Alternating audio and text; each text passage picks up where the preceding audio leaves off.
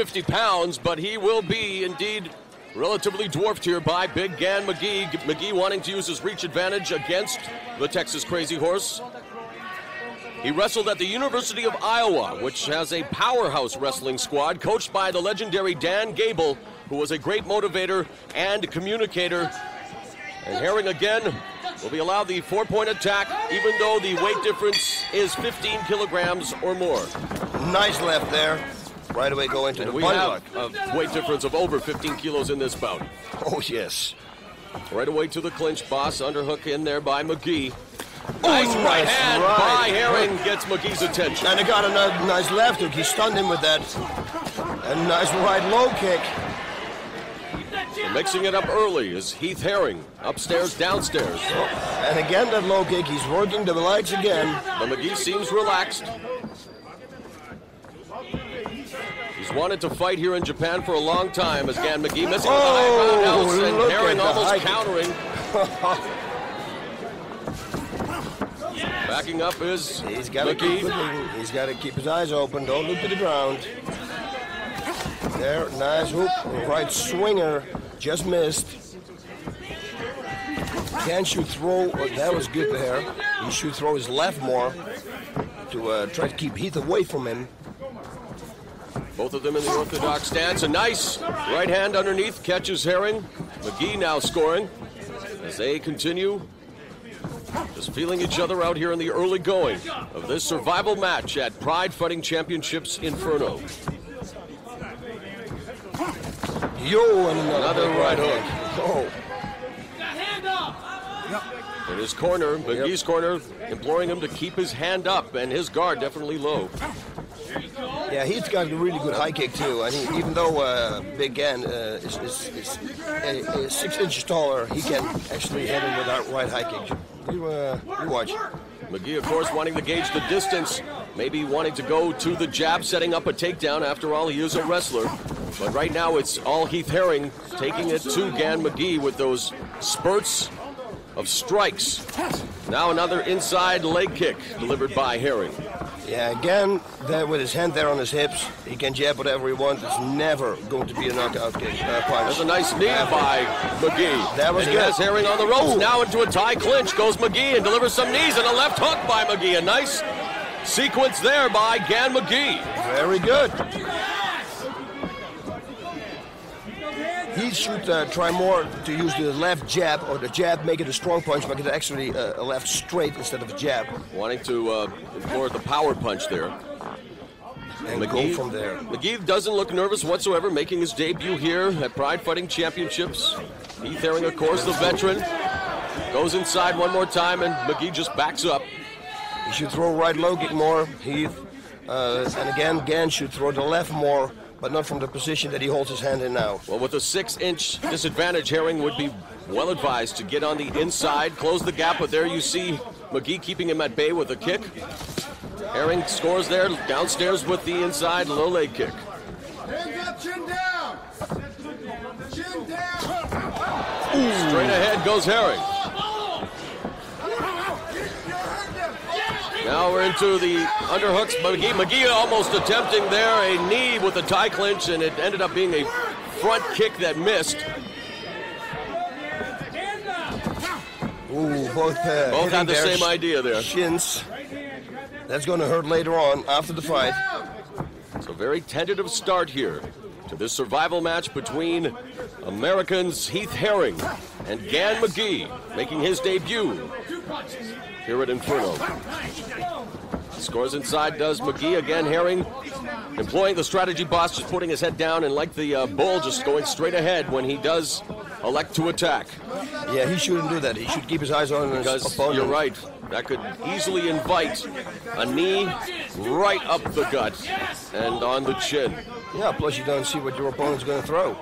I mean, if you look at the ground, uh, his feet, That's why I mentioned the inviting a disaster with that kind of uh, strategy. Yep, here you saw a little piece of sportsmanship. He kicked a little bit too high heat, almost in the groin, but they touched gloves.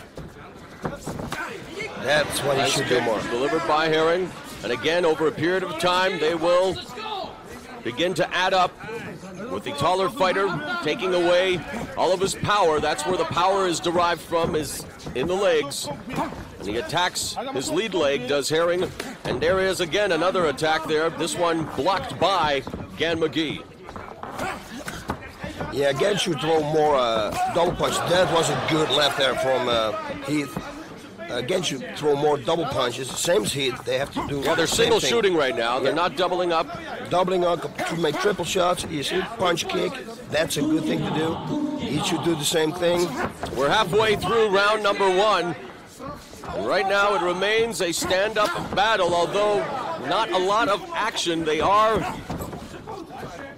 intermittently attacking each other, Gan McGee and Heath Herring. Probably fans here, as their corners probably as well, would like them to show maybe a little more tenacity, boss.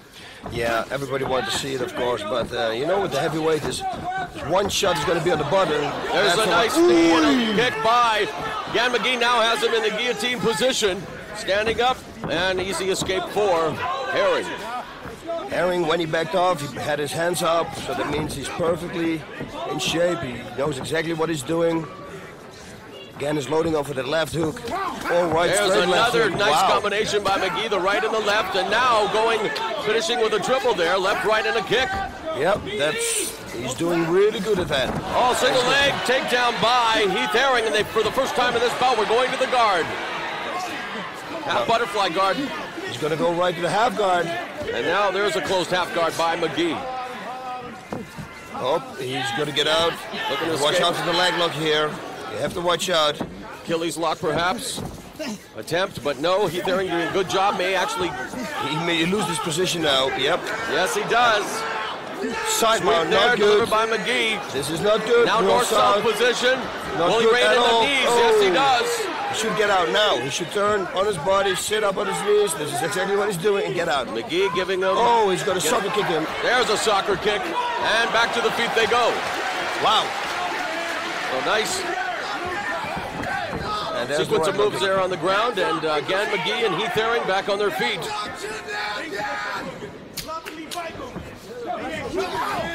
Nice combination, body and then upstairs by McGee. Yeah, that's exactly what he should do. It's exactly what he should do too. You know, go for single shots, single kicks or things. No, follow it up. Another low kick by Herring. No damage whatsoever to Gan McGee. McGee with the reach advantage, of course, and he is gauging that distance right now with that right jab. Herring Yeah, there right with an overhand right. The right straight left hook really favors McGee here. He should maybe go to the body with the right straight and the left hook to the head. That low kick hurt, but it's dangerous to set it up without. Nice brawl by McGee, a kind of weak shot Not there by. Herring. Now he gets his back. Herring looking for the switch. He's going there for a reverse figure four. Need this. Looking for the inverted Kimura is Herring, and uh, McGee right now just tapping him with those right hands to the body. He should start throwing knees. Not a lot of power behind those shots, but again, staying busy is McGee as uh, Herring, indeed from the uh, turtle position, they're looking for what you mentioned, boss, the inverted Kimura. He's going to pull it out. No, it's not working. McGee's corner telling him that he needs to improve his position, and he would be wise to get the full back of Heath Herring. Pull that arm out. Yeah, the referee's going to put him on their feet, I think, in about 30 seconds. Nothing happens. McGee really doing little in terms of trying to get the. Now he's working at He should Releasing his throw arm. right knees now. He can show, uh, throw the right knees to the upper thigh of um, Heath. Herring busy working on that left arm from underneath, while McGee, you're right, he should try the knee attack, and there was a left. We're in the final minute of the opening round. One minute, make it pay! He has his back now, does McGee. There's a series of rights to the face. Hammer fist dropped by McGee. Yeah, Heath is still looking for the Kimura there, the reverse figure four, I call it. Looks like Herring has uh, got a laceration on his face as well, Yep. just on the bridge of the nose, perhaps. Uh, can't really tell from here where the Well, maybe even under his eye. Yeah, it looks like his eye. Un- around his eye area, boss. Yep, I think so too. I think we'll check it. It's 30 seconds. He's got loose now. Uh, Herring, the fans responding as they He should fall back a and submission should attempt. lock the legs up now. The legs of uh, Gan McGee, if he's going to pull it out, he's going to lock him up. Otherwise, yes, he's doing it right now. will he have No, enough time, however. Now he should explode it out. He should explode it out as hard as he can. Use all the power. Oh! And you see Herring's reaction. A little frustrated. Didn't have uh, the opportunity to secure that uh, reverse Kimura. No. And uh, the end of round number one as Herring now will be tended to. There you see Core Hammers with the towel and the There we go. But we do know that Herring, I believe, wears contact lenses, does he not, when he uh, fights Uh, boss? no, what Gore Hammers is doing right now, he's he's closing the, the, the, the gap Right, here with the glue. But It- I don't know about the Herring? No, I, I, I thought one fight that I watched that he had trouble with contact lens, I thought, but uh, they heard right now they're just working on the cut below the right eye appearing. Let's see there here, the right hook. Didn't really connect, but he had a few real good. Oh, that left was really good. And it's, uh, that right low kick, you know, you should keep doing this. But again, they're going to show some combinations of Gan too, I'm sure. Through that right straight left hook, really good. You see, he's looking down while he's punching. You can't do that to the to uh, abstract your uh, opponent so that he looks down. He thinks you're going to hit low and then you hit high, but It invites all kinds of counterattacks from your opponent, and uh, Herring now being repaired in the corner, and uh, we'll see what happens in round number two. Gan McGee, meanwhile, definitely very relaxed in round number one, picking his spots, delivering some scoring combinations. But again, they need to pick up the intensity here. Yep, for sure. Uh, although I thought it was a it, was a It was good a round. good round, but uh, definitely I think the fans here in Japan and at home want to see a lot more, especially out of these two from the United States. They know what they're capable of, and they're hoping for a throwdown here in round number two.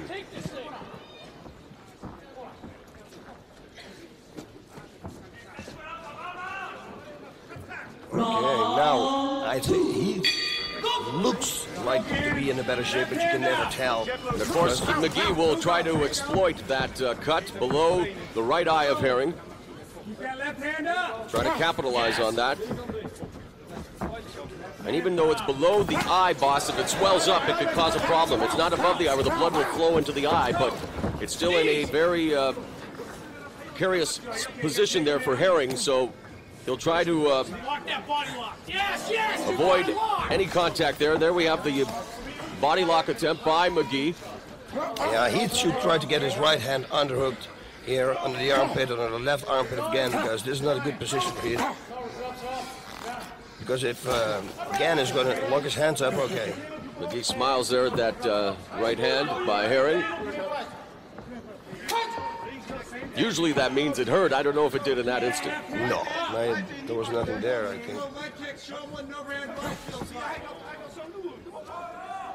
Don't. Another block there by McGee on the inside leg kick attempted by Herring. Yeah, that's why I always say. Overhead Oh, right. And that knocks out the uh, mouthpiece of McGee. McGee says, okay, let's go. Bring it on. Wow. That was a wild overhand right, Yeah. knocking the mouthpiece from McGee's mouth, but it uh, didn't look like it did much damage, though. More of a visual than any uh, real damage done there. Yeah, I think so too. There was nothing. Otherwise, he wouldn't have been so fast in picking it up and put it back in. He should work, um, definitely go to the body. He should. Those low kicks are hurting, you see? He's already lumping his leg. It looks to me like they're hurting, so he should continue doing this. Kick attempt there by McGee. McGee just really kind of standing there long, but, but Herring doing all kinds of feinting and really just uh, staying active at a bit of a frenetic stance there by Herring, which again expends energy as well. Yep, and he is still doing the same. Every time he throws punches, he looks down. He should, he should look at his opponent, you know, and make a three shot. And oh, yeah, exactly. Only able to really deliver the single shots is the Texas Crazy Horse McGee with that reach advantage with the left. Doing a good job of keeping Herring at bay and uh, Jacobo there now into a front face lock looking for the guillotine, but it has the arm trap there as well, boss. Yep, and here we go, knees to the body, uh, to the leg, which was a really smart thing to do, and you saw that McGee pushed him away. It could be, could be, I say, a sign that he feels the low kicks. Every time Herring now goes for a kick, it's met directly by the counterattack upstairs by McGee. Perfect. He's out, getting out of the corner, and McGee's corner was shouting, don't let him get Nope. out of the corner. I want him to cut off the ring, of course, Yep. having the height advantage and keep Herring corralled, if you will. Keep that crazy horse in McGee's pen. Two minutes left, right straight, he should throw that more. Don't just fall in like that. It's been a battle really of single shots. Yep. Not a lot of them scoring. Again, very tentative. Herring and McGee. There's a high roundhouse blocked by Herring. There's a right hand that was a good scores by Herring. He should follow it up with the right low kick. He, they both really should turn it up a notch now. Both of them accomplished wrestlers, although they have maintained a stand-up battle here at Inferno. You gotta get off first. McGee's corner telling him he has to get off first. He's been effective with the counterattack, though, throughout this bout. He's doing good, you know. He's got the right straight, left hook, and left hook, right straight, and, he, and it's actually it's working good, you know. He should attack more and keep looking. Herring, meanwhile, his MO is to take away that lead leg where all the power is derived from. If he can take away the lead leg, boss, he'll be easier to chop down the Sequoia known as McGee, and perhaps Herring will be able to capitalize. Now along the ropes, however, full body lock there by McGee, and he puts him in the corner, and maybe we'll go to the knee attack once again. Going, going, punch. A knee, get a warning. Yeah, a break again. Thank God for that. Into the final 30 seconds of round number two. Herring and McGee. In a battle of single shots here. We'll have to see if anyone wants to turn it up and finish the round in a flurry. To you, man. He should keep going now. Now, Herring becoming a little more aggressive into the clinch. Underhooks, and there is the end of round number two. Herring, a little more activity there in the final 15 seconds, but really not able to accomplish a lot, boss. No, absolutely not. It's, it's um, he looks down um, every time he punches. I mentioned it like uh, now 40 times, so there's so the people know at home. I'm sorry, but you know you should keep going. Make a left, right, straight. Give him delivery shot or something. Make a three combination and finish off with a kick. And while McGee has been effective with the counterattack, I think his corner, as we heard, wants him to uh, get off first, you know, like uh, initiate some offense. And uh, Yeah. that's what he's going to have to do in round number three if he wants to uh, secure the victory here, I believe. Yeah, and There you're is a right. contact. There it is. You're Thank you. right. Now let's see, low kick. See, those low kicks are good. And that can be dangerous, actually, fighting with contact lenses like that. I mean, they can, I always they fought can- with them. Really, and they never like I lost a fall lot out of or them. cut or Many you know No, what I mean? cut, they no, can't no, cut. but when they fall out and Yeah, I know. It's the worst because when you sometimes when they fall out. tagged, No, then you've got uh, your vision gets all screwed up That's because right. one eye sees and the other that's side right. And doesn't. we've seen this uh, before with Heath Herring. He picks up his mouthpiece. That was the uh, moment of levity for the fans here at Inferno as they, uh, that was a great shot. Oh, that eye is starting to swell. That's what we had talked about as well, boss. It wasn't over the eye, but it's where it is. It's going to swell, and it uh, it's almost swollen shut right now, is going to cause all kind of problems for Heath Herring in round number three. It'll be interesting to see if Gan McGee can capitalize and put Herring out here at Inferno.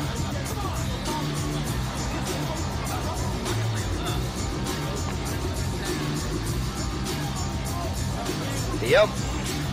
That right Come eye on. is almost swollen shut. Yep.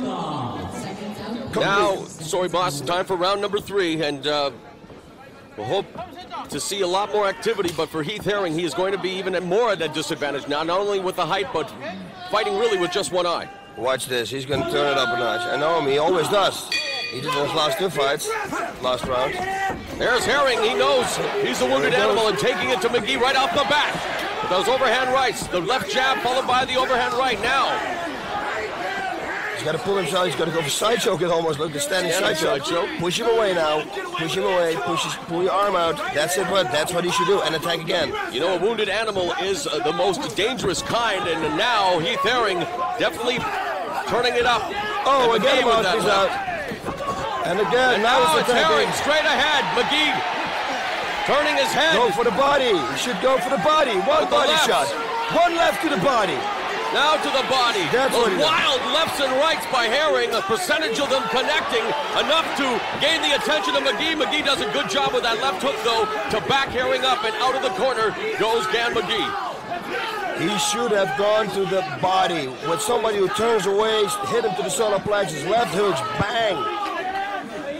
Take the air out of him. There's a He's well, tired. Leg kick. I was just going to say, expending all kinds of energy was Herring during that flurry, and now McGee looking to capitalize along the ropes. Full body lock there by Herring.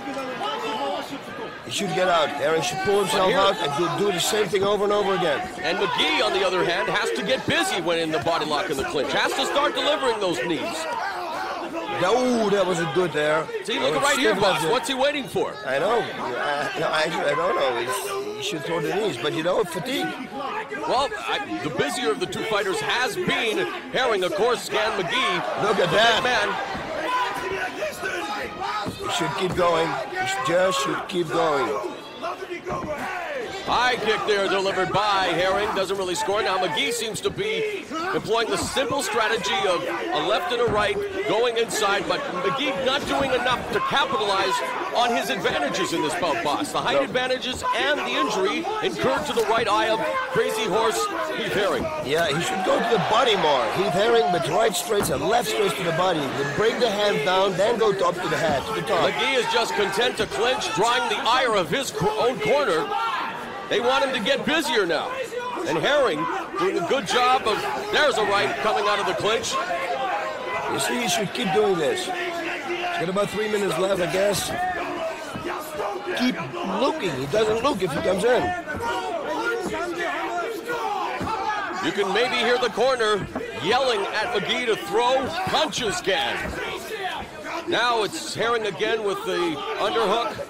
McGee looking for the body lock, but now again they just face each other. It's been all stand up here. Herring, Should throw right low kick here. If he turns away to the right, you should throw right low kick. you know the strategy should be fight to win, not fight to survive. And right now, I don't know. Ooh, that was a good body knee. shot. The knee missed, the body shot was a hit. That's, but it appears to me that McGee, oh, now he's trying to turn it up there. Left and right, now he's showing some aggression.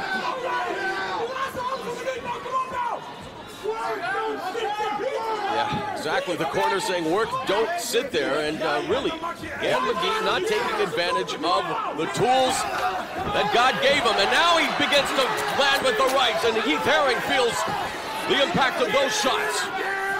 Now Herring with the right of his own. Now in a tie clinch, oh McGee, Herring is able to slip out of it. This is what that wild right does McGee back into close quarters. There's Herring with the right hand, and again it's up to Herring to get inside and go to work. Now a right, and man, Heath Herring, his face looks like a mess, but boy, is this guy a warrior. Okay, we got one minute One left in the fight. Who's going to finish? And I do believe we are in for a thrilling finish. The crowd here at Osaka Castle Hall encouraging both fighters. Herring There now go, with the left, go, the right. Herring has McGee rocked. Right and Oh, left hook to the chin, but McGee has a very strong chin, able to take those shots. We are seeing a throwdown here in the final half minute oh, of Oh, this bout look in at this. Inferno. Wow! What a finish, 30 seconds. Who can finish this in the 30 seconds? Last 30 seconds. Come on, guys. Herring and McGee running on fumes. Showing that never say die attitude. McGee now hanging on with the clinch. Will he come in with a knee? No. Herring backs up. This is almost like a Rocky movie. It is a battle, no doubt. Lefts again and rights inside into the tie clinch, but that is not where McGee wants to be. He has to start reining in the, those knees, and the bout is over. And a great last minute, minute and a half of that third round. Boss, I think the Texas Crazy Horse Heath Herring, even though he looks worse for wear, did enough to win this bout. I think so too. Gan McGee looked okay in the opening round. Let's go back to some of this action, boss. Wow, that was the right hook. Started off, you see, and now when he turns away, just give a left hook to the body. Left hook to the body. Full power. Give a right low kicks, right knees to the body. Uh, to the to the legs. You know, McGee with absorbed all the punishment. Oh, that one hurt, right hook. And there you see some of his offense. Yeah. But it just seemed like, like his corner was saying, he would not capitalize on the opportunities given him. While Herring, knowing he's the wounded animal, knowing that he's in danger, Whoa. kept doing this. Yeah, but that, that left hook was a hard, yeah, left uppercut hook, I call it. That that had impact, and it didn't flinch. Yeah. It'll, it'll be interesting to see how this bout is adjudicated. Let's await the official decision from the judges. Judge Miyake. Gun. Judge Kobayashi. Peace. Judge Adachi. Peace. Wow, be a split decision.